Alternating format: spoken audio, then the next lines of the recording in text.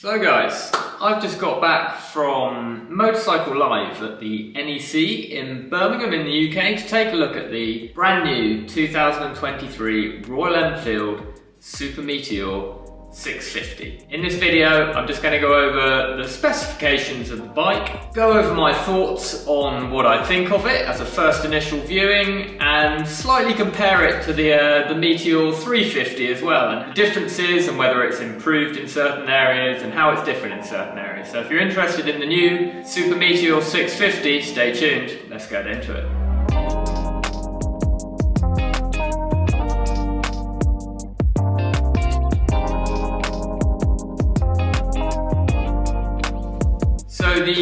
Meteor 350, we start off with the engine in that. It has a single 349cc engine with 20 horsepower and 27 newton meters of torque. So the power figures on the 350 have possibly been wanting a little bit more for a while now. Don't get me wrong, it's a nice single. I do enjoy that engine. It's very nice for a single engine. And if you're after a low powered, good valued, cruiser styled motorcycle, then the 350 is a really good option. Now, moving on to the Super Meteor 650. What's the engine like in the 650? You have a 648 cc parallel twin, but with a 270 degree crank on it. So mimicking the feel basically of a V-twin engine. Um, it's going to feel a lot like riding a V-twin engine. However, there are benefits of, of having the parallel twin. So why use a parallel twin in a cruiser? Well, the, the benefits of a parallel twin are it's more compact, fewer moving parts, it's therefore a bit of a lighter engine and also lowers the costs of, of making the engine. So it makes it more affordable for you and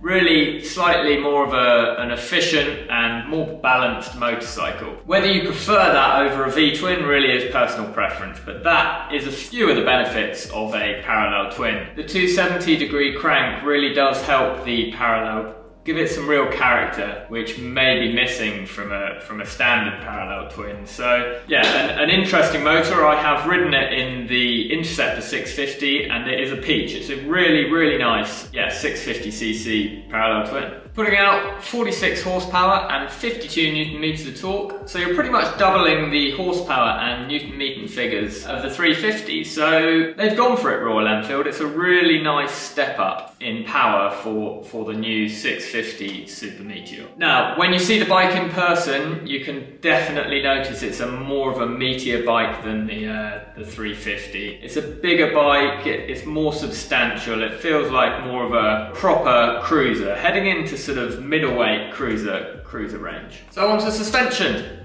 On the rear, you have twin shocks with 101 millimeters of travel and adjustable preload on the rear. So if you have a pillion on the rear or you're loading luggage on, which you may want to on this slightly larger CC motorcycle, you go touring, etc., you can adjust the preload on the rear. So that's nice and useful. Up front suspension, um, a nice feature. Whether it's completely necessary, I'm not 100% sure, but I would definitely rather have it than not. It's got upside down forks up front, so 43 with 120 millimeters of travel. As I say, I'm not too sure whether it's completely necessary having the upside down forks on the middleweight cruiser, but rather have it than not. Um, nice spec Royal Enfield. Quickly go over the brakes, not too much for change, slightly bigger brakes. You've got a single 320mm disc up front with a two piston caliper. And on the rear you have a single 300mm disc with, again, a two piston floating caliper on the rear. Right, getting through the stats, onto weight. So the Meteor 350 wet weight is 191 kilograms. That is very light for a cruiser motorcycle. As we know, cruiser motorbikes generally tend to be on the heavier side. So the 350, given it single engine, it's a light, light cruiser. The new 350 is pushed up a bit. It's 50 kilograms more, so it's 241 kilograms wet weight. Still, I don't think that's a bad figure. Doesn't seem too heavy to me. And as I say, when you see it in the person, it does seem like a more substantial motorbike, so nothing to worry about on the weight figures. Fuel capacity, guys, it's a 15.7 litre fuel tank. Very similar to the 350, actually. The 350 is a 15 litre fuel tank. So not much more capacity there. I was expecting a little bit more. However, thinking about it,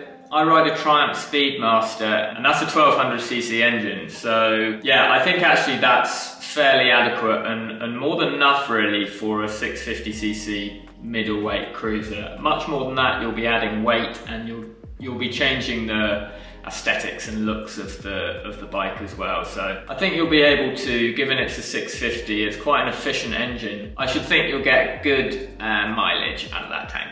Okay, coming on to seat height. Getting a bit more interesting now. The seat height for the 350 is 765 millimeters. Now, the new 650 is 740 millimeters, so 25 millimeters lower. It's not that much, but that is a bit lower. Now it adds into another feature with the 650. The new 650 has proper forward, oh, you can't see my hands, do I'm doing it down there, forward style foot pegs. It's much more of a cruiser riding position. You've got forward foot pegs, lower seat height, nice high handlebars. It really does embody the cruiser style, laid back, traditional feel of a cruiser motorcycle, much more so than the 350 I feel. So guys, something that I find quite exciting about the new 650. Uh, at the show there were three different models on display. So there was a sort of black, like dark grey black model. Stripped down, slightly bobber-esque. Looked really cool, really like the look of that. There was also going up a bit, slightly more specced out, I would say, in the middle of the range with the pillion seat on the rear. Really nice spec as well. It's like a green with gold pinstripes breaking that up and then a nice black paintwork. It, really is in the flesh, it's a cool, cool looking new Which looks really good. Moving on, they have a like a touring specced out model on show as well. It was like a white and red paint scheme, full touring. So you had a screen at the front, pillion seat with a backrest for the pillion. Um, you had highway bars with fog lights on the highway bars. Also, they had sort of semi um, floorboards, I would describe it as. Not full floorboards, but half and half. Wide foot pegs for the rider and the pillion as well. So really cool. You can spec it out into a real old school sort of cruiser style. On the rear of the, uh, the red and white, I'm going to call it for now, because I don't know the official name of the paintwork, but of the touring model, the red and white one, there's a luggage rack as well, just behind the, the passenger backrest, so, you know, for, for touring, etc., more luggage room, which is obviously really, really helpful. So, overall thoughts from the show, and just having walked around the, uh, the 650, there's a lot of hype going around it, I'm really impressed. I think it's really, really nice looking. Not too big, often cruisers are large motorcycles. It's not too large. There's a definite difference between the 350 and the 650. I think you will notice that for sure in person when you see the bike. Also want to note, I think Royal Enfield have upped their, their quality, finish quality a bit. Not that it's too bad to start off with, but on this new 650, the whole the whole bike, everything seems to just fit together really well and some nice quality materials on the bike. Another note is the, uh, the dash, so it has a LCD analog dash, very nice, simple, single round dial up front, which is just perfect for a style of cruiser like that. You don't want to overcomplicate it too much. They do also have their Tripper navigation turn by turn signaling next to that if you, if you wish to spec that as well for navigation, so that's nice and handy. On to price, now they haven't released the price yet, but the 350 is £3,749. I'm not going to hazard a guess uh, at what the 650 is going to be yet, I'm afraid. It's not going to be over £10,000, I highly doubt. So yeah, I think it's a really, really good prospect if you're in the market for a cruiser. You don't want something too big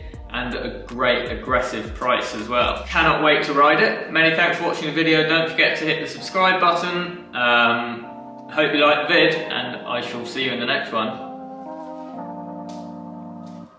Ciao Bella.